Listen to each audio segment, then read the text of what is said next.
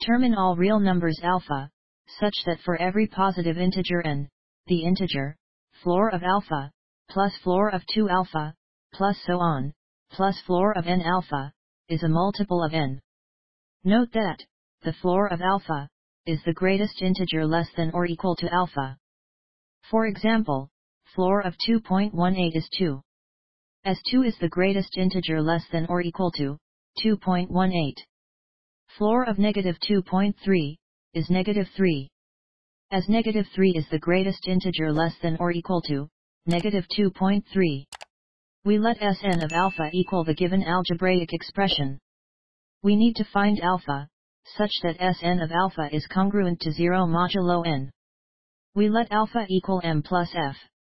Where m is floor of alpha, which is an integer, and f is the fractional part of alpha, which is greater than or equal to 0, and is less than 1. For example, 2.68 can be written as 2 plus 0.68. So m equals 2, and f equals 0.68. Then for any k, which is greater than or equal to 1, and less than or equal to n, floor of k alpha, is equal to, floor of k times m plus f. Which can be written as km, plus floor of kf, as both k and m are integers. So Sn of alpha can now be written as, sum from k equals 1 to n, km plus floor of kf. Which can be written as, m times sum from k equals 1 to n, k, plus sum from k equals 1 to n, floor of kf. Sum from k equals 1 to n, equals n times n plus 1 over 2.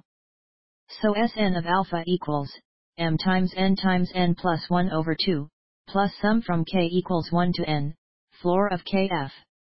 Now we want to find m and f, such that, Sn of alpha is congruent to 0 modulo n. We will divide the problem into two cases, f equals 0, or f doesn't equal 0. Case 1, f equals 0. Then sum from k equals 1 to n, floor of kf, equals 0. So Sn of alpha equals, m times n times n plus 1 over 2. If m is an even integer, we let m equal 2p, where p is an integer. Then Sn of alpha, equals p times n times n plus 1. It's evident that, Sn of alpha is congruent to 0 modulo n, for every positive integer n. Therefore, all even integers satisfy the condition. If m is an odd integer, we let m equal 2p plus 1, where p is an integer.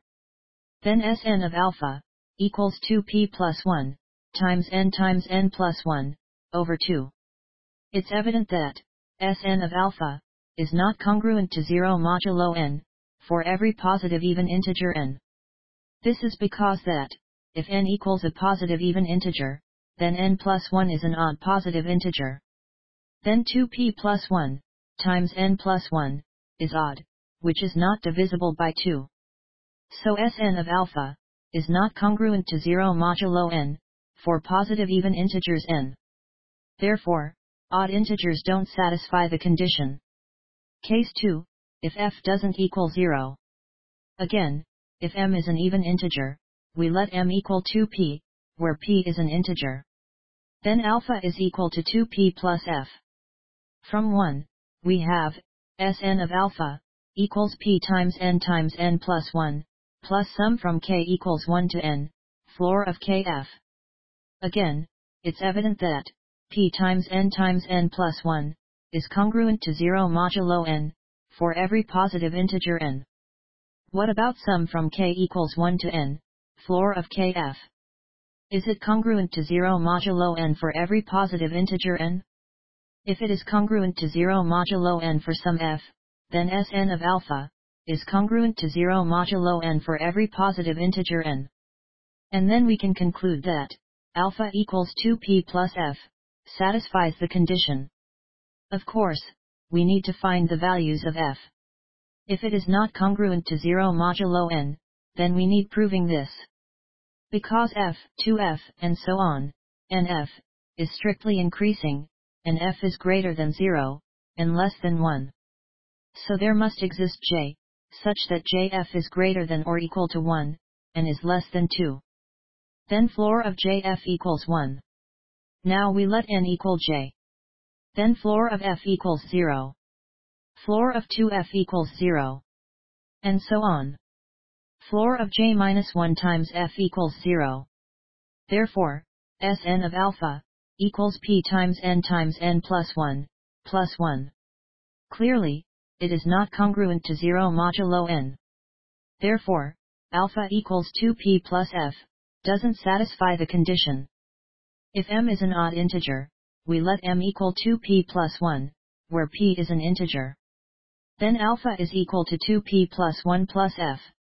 From 1, we have, Sn of alpha, equals 2p plus 1, times n times n plus 1, over 2, plus sum from k equals 1 to n, floor of kf.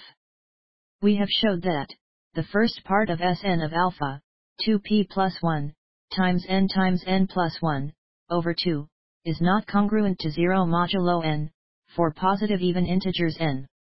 And we have also showed that, the second part of Sn of alpha, sum from k equals 1 to n, floor of kf, is not congruent to 0 modulo n, for some positive integers n.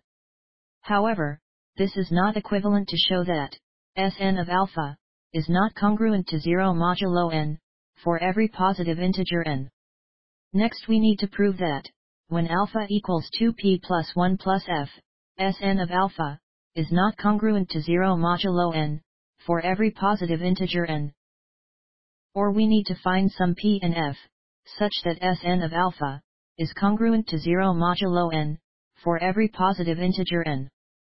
As alpha equals 2p plus 1 plus f, which can be written as 2p plus 2 minus 1 minus f, which can be written as 2 times p plus 1, minus 1 minus f. Now we let q equal p plus 1, and d equal 1 minus f. Note that, as p is an integer, so q is an integer as f is greater than 0, and less than 1. So d is greater than 0, and less than 1. Then alpha equals 2q minus d.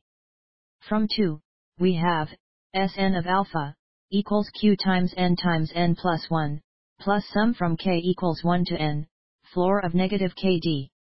As shown above, it's evident that, q times n times n plus 1, is congruent to 0 modulo n, for every positive integer n. What about sum from k equals 1 to n, floor of negative kd? Is it congruent to 0 modulo n, for every positive integer n? If it is congruent to 0 for some d, then Sn of alpha, is congruent to 0 modulo n, for every positive integer n. And then we can conclude that, alpha equals 2q minus d, satisfies the condition. Of course, we need to find the values of d. If it is not congruent to 0 modulo n, then we need proving this. Because, negative d, negative 2d, and so on, negative nd, is strictly decreasing, and d is greater than 0, and less than 1. So there must exist j, such that negative jd is less than negative 1. Then floor of negative jd equals negative 2. Now we let n equal j. Then floor of negative d equals negative 1. Floor of negative 2d equals negative 1. And so on. Floor of negative j minus 1 times d equals negative 1. Therefore, Sn of alpha, equals q times n times n plus 1, minus n minus 1. Clearly, it is not congruent to 0 modulo n. Therefore, when alpha equals 2q minus d, that is, alpha equals 2p plus 1 plus f, doesn't satisfy the condition. So the even integers are the only solutions.